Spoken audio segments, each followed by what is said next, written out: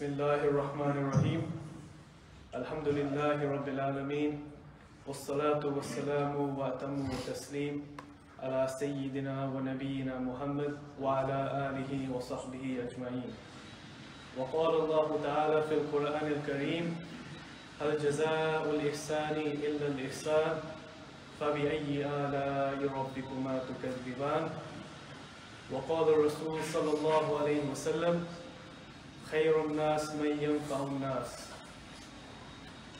Allah subhanahu wa ta'ala says in the Quran that what is better in goodness, in perfecting goodness than goodness. And the Rasul sallallahu alayhi wasallam said that a person who benefit, uh, the best of people is the one that benefits people. So giving a summary of today's speech, taking from the lessons and the life of Khwaja Gharib Nawaz, Mu'inuddin Chishti, Rahmatullah alayhi, Qaddasallahu sirrahu. May Allah sanctify his secret and ignoble and ennoble his status. That one of his teachings was goodness towards others.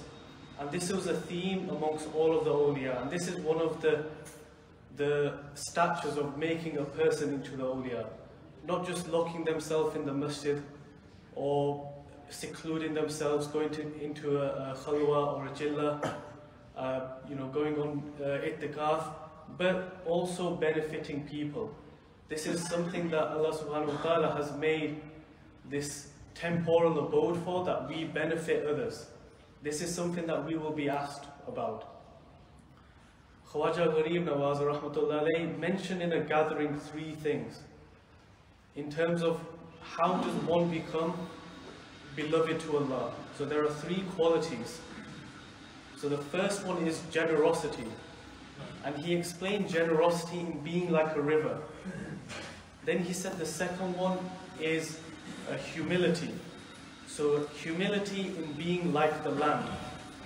And then he mentioned the third one, which was softness or mercy and being like the sun. Now he mentioned these three qualities, but also why did he mention the um, giving of examples with nature that we, we depend upon? So generous being like the river. The river flows and it does not, um, how do you say, it doesn't, forgotten the word, but it doesn't favor another person over another person. Everyone benefits from it. You know, people take benefit from it by plowing the, the field, making little canals so that we can then grow food. Also from the river, we have fish, which we can eat from. Uh, also we have in the river that we have the water cycle. So that water will evaporate, it will form clouds, and it will rain, and it will benefit us as well in that regard. So he said, be generous to others like the river. The second quality that he mentioned was softness and being like the sun. Now, with the sun, this is something that we all depend upon. We need the sun to be able to see outside. We need the sun to also have food. So those of you that are doing uh, biology, GCSE biology, you should know photosynthesis. So this is something that plants make food for us. And then also with the sun, in that it's gentle, that you, you see in the morning as it rises, it's generally is a beautiful sight to see. Something that you know reminds us of Allah subhanahu wa ta'ala, something that everyone is taken into awe by. And that is the softness of the sun. Then Khwaja Gharib Nawaz rahmatullah he mentioned the third quality, which is humility. And he said, be like the land.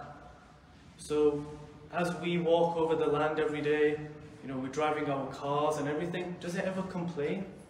Has the land ever said that you're sitting on top of me? You know, we, if you've ever been in grappling or wrestling or anything, someone's on top of you, you want to get out of it, don't you? But the land is, is humble, has tawadu, is firm, and it doesn't complain about what we do on top of it.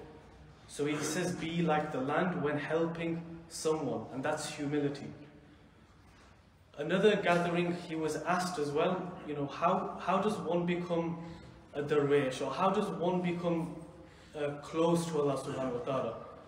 And so with that, you know, he mentioned that, you know, a true person of Allah, true awliya of Allah is someone who helps someone when they come to them in a time of need. Now there are, we hear a lot of things that, you know, maybe school or in the media, you know, such and such a footballer has talked about his mental health problems and this and that. We need to help other people with mental health. This is all the media saying it, but the thing is that if we look at all of the people that came before us from, you know, the people that we should take an example from, they have shown us that how do we help people. You know, someone requires a payment in debt, you know, if we are able to help them with that, then we should do so. Or if we can point them in the direction of doing so. If somebody requires food, requires assistance, we should be the people that can help them. And I say that to myself first and foremost, that I should do more to help others. And as I mentioned in the hadith of the Rasul sallallahu man nas.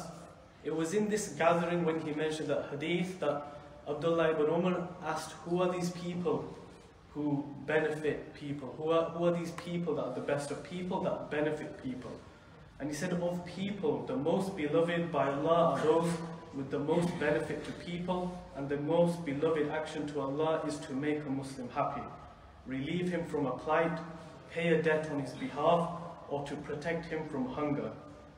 And it's dearer to me to accompany a brother to fulfill his need than to seclude myself in this mosque, i.e. the Masjid of Medina. And whoever withholds his anger Allah subhanahu wa ta'ala will cover his faults, and whoever holds back his rage, which he is able to let go, Allah will fill his heart with serenity on the day of resurrection. May Allah subhanahu wa ta'ala make us from the people that are khairun nas, nas, that we are the people to benefit others. وصلى الله على سيدنا محمد وعلى آلہ وصحبه اجمعین جزاك الله خير رات بہت سے حضرات نے لوگوں کے لیے کہا۔